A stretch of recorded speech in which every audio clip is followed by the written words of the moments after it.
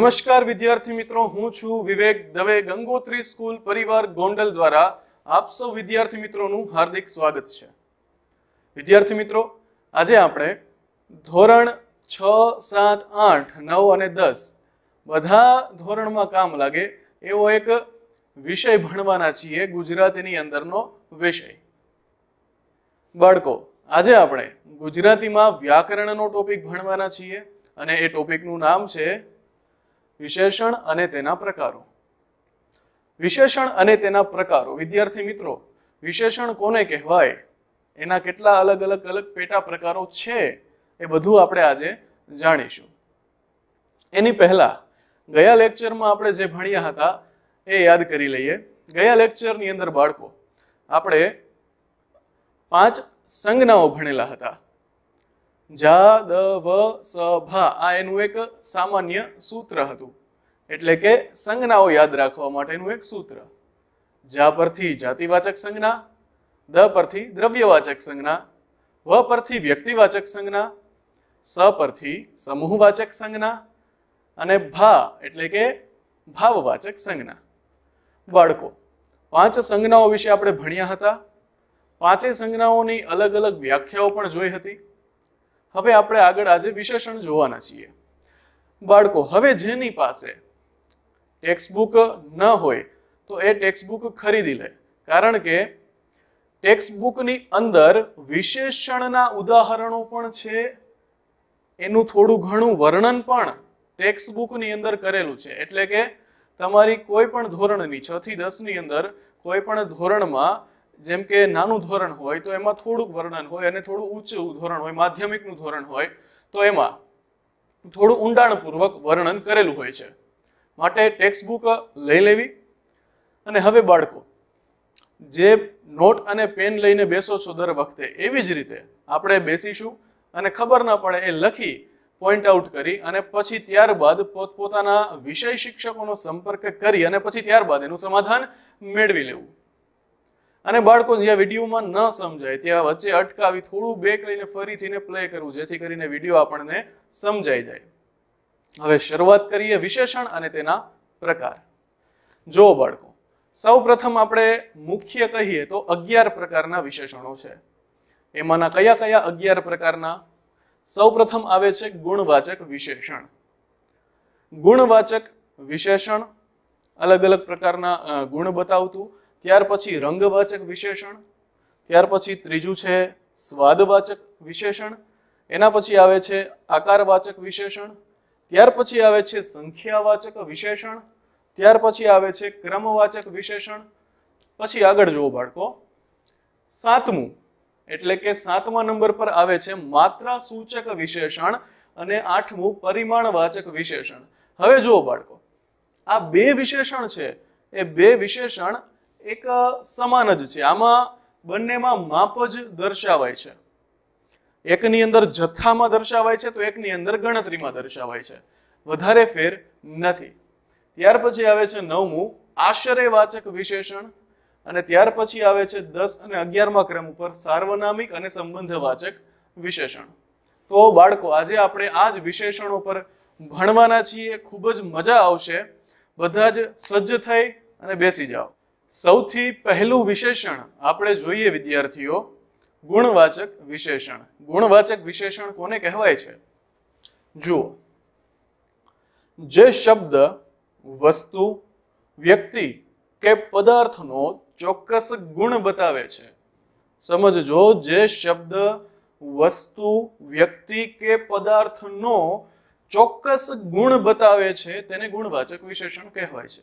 કેવી રીતે? તો એના ઉદાહરણ પણ છે, જુઓ. ઉદાહરણ પરથી આપણે વ્યાખ્યા સમજીશું. અહીંયા પેલું ઉદાહરણ આપેલું છે કે સુંદર છોકરી. હવે જુઓ, છોકરી તો છે જ, પરંતુ એમાં કઈ વિશેષતા ખાસ છે? તો કે સુંદરતા, એ સુંદરતા એનો ગુણ છે. એટલા માટે સુંદર છોકરીમાં સુંદર, એ શું થયું? તો કે ગુણવાચક વિશેષણ થયું. હંમેશા આપણે એક વસ્તુ યાદ રાખવી બાળકો, જ્યારે પણ વિશેષણ વિશેષ્ય ભાવ આવે, ત્યારે વિશેષણ લગભગ હંમેશા પહેલા જ હોય છે. પછી વિશેષ્ય આવે છે. તો અહીંયા વિશેષ્ય છોકરી છે અને સુંદર એ વિશેષણ છે. છોકરી તો છે, પરંતુ કેવી? તો કે સુંદર. એનું વિશેષણ થયું. એવી જ રીતે આપણે કોઈ જગ્યાની વાત કરતા હોય, એની આગળ કોઈ આપણે શબ્દ લગાડેલો હોય, તો એ પણ કેવું થાય? તો એ વિશેષણ બની જાય. જેમ કે બગીચો તો છે, પરંતુ કેવો બગીચો? લીલોછમ બગીચો. સમજો છો? તો આ વસ્તુ છે, એ એનો ગુણ દર્શાવે છે, અથવા તો સુંદર બગીચો આ વસ્તુ એનો ગુણ દર્શાવે છે. તો આપણે એ ગુણ સમજવાનું અને ગુણવાચક વિશેષણ સમજવાનું. આગળ. ત્યાર પછી આ વિશેષણો જુઓ. જંગલી, પછી ગંદી, હાનિકારક ટેવ, પછી હિંમત. આ બધા વિશેષણો બતાવેલા છે. તો આ બધા શું છે? ગુણ છે. હિંમત એક પોતાનો અનોખો ગુણ કહેવાય. પછી ગંદકી, ગંદી એ પણ એક ગુણ છે. ભલે એ શબ્દમાં આપણને એમ લાગે શું કહેવા માંગે છે, પરંતુ ગંદુ હોય એ શું છે? ગુણ જ છે. સારું એ પણ ગુણ છે, ગંદુ એ પણ ગુણ જ છે. એટલે કે ચોખ્ખું. સારું કહેતા ચોખ્ખું. ત્યાર પછી જંગલી એવો શબ્દ છે. આપણે કહીએ ને, માણસ કેવો અવળો, આ કેના જેવો છે? તો કે જંગલી જેવો છે, જંગલી જાનવર જેવો કોઈ કે. આ બધા આપણા ગુણવાચક વિશેષણ થયા. વિદ્યાર્થી મિત્રો સૌ પ્રથમ અગિયાર વિશેષણમાંથી આપણે પહેલું વિશેષણ કહેતા ગુણવાચક વિશેષણ પૂર્ણ કર્યું. ગુણવાચક વિશેષણ અત્યારે આપણે ભણ્યા. હવે આગળ રંગવાચક વિશેષણ. રંગવાચક વિશેષણ કોને કહેવાય? તો કે જે શબ્દ દ્વારા રંગનું સૂચન થતું હોય, કે જે શબ્દથી ને રંગનું સૂચન થાય, તેને રંગવાચક વિશેષણ કહેવાય. કેવી રીતે રંગ, કેવી રીતે શબ્દથી ને રંગનું સૂચન? એટલે કે બોલવામાં. અહીંયા એના એક્ઝામ્પલ છે, જુઓ. ઉદાહરણ આપેલું છે કે લાલ સાડી કહેતા સાડી છે અથવા તો લાલ કપડું આપણે કહીએ. ચલો, કપડું છે. તો એક એક કપડાનો કલર કેવો છે? લાલ છે. એનો રંગ કેવો છે? લાલ કલરનો છે. તો શબ્દમાં આપણે શું કહીશું એને? તો કે લાલ, એવું કહીશું. માટે અહીંયા શું દેખાડેલું છે? લાલ સાડી. લાલ રંગની સાડી છે. જુઓ, રંગવાચક વિશેષણ અહીં ભેગું થાય છે. મેં બધા નીચે અંડરલાઈન કરેલી છે. જે વિશેષણ છે, એની નીચે. ત્યાર પછી આવે છે લીલા પાંદડા. પાંદડા તો છે, વૃક્ષના પાંદડા છે, પરંતુ કેના જેવા? તો કે લીલા કલર જેવા છે. એટલા માટે અહીંયા લીલા એક એવું વિશેષણ થશે, રંગવાચક વિશેષણ થશે. ત્યારબાદ કામડી વિદ્યાર્થીઓ કામડી એટલે લગભગ ખબર ન પડતી હોય. કામડી કહેતા એક નાની ગોદડી જેવું, ચાદર જેવું થાય. તો એ, એનો કલર કેવો છે? કાળી ચાદર. કાળી કામડી કહેતા કાળા કલરની ચાદર. તો કાળી એ શું થયું? કાળી એટલે કે રંગ, રંગવાચક વિશેષણ. કાળા કલરનો રંગ. તો રંગવાચક વિશેષણનો પ્રયોગ અહીંયા કરવામાં આવેલો છે. માટે બાળકો આ રંગવાચક વિશેષણની અંદર શબ્દથી ને જે રંગનો ઉલ્લેખ થાય, એને કેવું કહેવાય? રંગવાચક વિશેષણ કહેવામાં આવે છે. ત્યાર પછી ત્રીજું વિશેષણ. જોઈએ બાળકો, ત્રીજું વિશેષણ છે સ્વાદવાચક વિશેષણ. સ્વાદવાચક વિશેષણ કોને કહેવાય? એની વ્યાખ્યા જુઓ. જે શબ્દ દ્વારા સ્વાદ જાણવા મળતો હોય, એને સ્વાદવાચક વિશેષણ કહેવાય. સામાન્ય છે. જે શબ્દ દ્વારા સ્વાદ જાણવા મળે છે, એને સ્વાદવાચક વિશેષણ એવું આપણે કહી શકીએ છીએ. કેવી રીતે? તો કે શરબત પીતા હોય. શરબત પીતા હોય તો એ શરબતનો સ્વાદ કેવો છે? તો કે મીઠો સ્વાદ છે. તો જે મીઠું શરબત, એવું કીધું ને, તો અહીંયા અંડરલાઈન કરેલી છે. મીઠું એ શું છે? એટલે કે ગળ્યું. મીઠું શું છે? તો કે સ્વાદ છે. તો શરબતની સાથે શબ્દ મૂકવાથી ને સ્વાદવાચક વિશેષણ એવો અહીંયા પ્રયોગ કરવામાં આવ્યો. ત્યાર પછી આંબલી. આંબલી કેવી હોય બાળકો? આપણને ખબર છે કે ખાટી હોય. એટલા માટે અહીંયા આગળ શું લખેલું છે? ખાટી આંબલી. એનો સ્વાદ છે એ ખાટો છે. એટલે આંબલી પણ કેવી? તો કે ખાટી આંબલી. એટલે આંબલીનું વિશેષણ ખાટું છે એ શું થયું? સ્વાદવાચક વિશેષણ થયું. ત્યાર પછી છાશ. છાશ કેવી છે? તો કે ખારી છે. જેવી રીતે આગળ આમાં મેં સમજાયું બાળકો, એ જ રીતે. બધામાં લાગુ પડશે. જે જે પ્રમાણેના સ્વાદ છે, એને જેની સાથે મૂકવામાં આવે એ સ્વાદવાચક વિશેષણ બની જાય. કહેતા લીમડો કેવો છે? તો કે કડવો લીમડો, શાક તીખો શાક, પછી આદુ, તો કે તુરુ આદુ. આ બધા સ્વાદવાચક વિશેષણ થયા.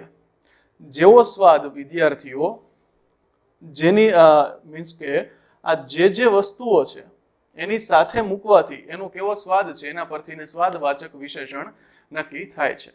એના પછીનું ચોથું વિશેષણ એટલે કે આકારવાચક વિશેષણ. આકારવાચક વિશેષણ આપણે કોને કહીશું?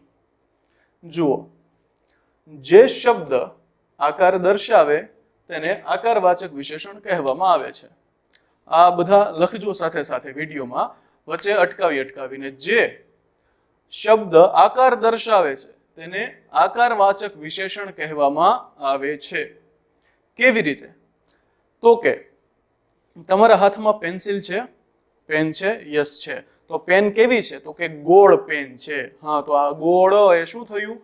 આકાર થયો. તો એ આકાર દર્શાવે છે બાળકો. એટલા માટે એ વિશેષણ કેવું થયું? પેન તો છે, પણ કેવી? ગોળ પેન. તો એ ગોળ શું થયું? આકાર થયો. માટે આકારવાચક વિશેષણ ત્યાં લાગુ પડે છે. એવી જ રીતે સિક્કો છે. સિક્કાઓ કેવા હોય? ગોળ હોય. એટલા માટે ગોળ સિક્કા, ગોળ શું થયું? આકારવાચક વિશેષણ થયું. ત્યાર પછી મકાન. તો કે મકાન કેવું છે? તો કે ચોરસ મકાન છે. મકાન કેવું છે? ચોરસ મકાન છે. ત્યાર પછી ફળિયું. ઘરમાં રહેતા હોય તો એ ફળિયું ગામડે હોય, એને ખબર હોય વધારે પડતી. કે ફળિયું હોય એ ઘણું મોટું હોય, વિસ્તાર હોય, આમ લાંબો લાંબો. એક ઓસરી પર ચાર, પાંચ રૂમ અથવા છ રૂમ કન્ટિન્યુ હોય અને એનું જ નીચે એની નીચે સીધું ફળિયું હોય. તો ફળિયું કેવું છે? તો કે લંબચોરસ ફળિયું.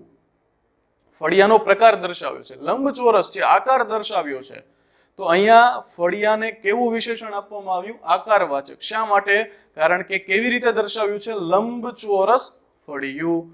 ત્યાર પછી ખૂણા. ખૂણા દર્શાવેલા છે. બધા ખૂણા. તો કે કેવા ખૂણા છે? તો કે ચતુષ્કોણ ખૂણા. ચતુષ્કોણ આકારના ખૂણા છે. આકાર દર્શાવેલો છે. ચતુષ્કોણ એટલે ચારેય બાજુ. ચાર બાજુ ગોઠવાઈ જાય એટલે આકાર બની જાય. તો એ ખૂણા કેવા છે? ચતુષ્કોણ. ચોરસ આકારના ખૂણા છે. એટલા માટે એક ચાર વસ્તુ ગોઠવાઈ જાય સરખા સરખા અંતરે એટલે એક આકાર બની જાય. એટલા માટે અહીંયા શું લખેલું છે? તો કે આકારવાચક વિશેષણ એવું દર્શાવવામાં આવેલું છે. તો બાળકો, અહીંયા આપણા સ્વાદવાચક અને આકારવાચક આ બે વિશેષણ એટલે કે ટોટલ ચાર વિશેષણ પૂરા થયા. સૌથી પ્રથમ ગુણવાચક વિશેષણ, ત્યારબાદ રંગવાચક વિશેષણ, ત્યાર પછી સ્વાદવાચક વિશેષણ અને ત્યાર પછી આકારવાચક વિશેષણ.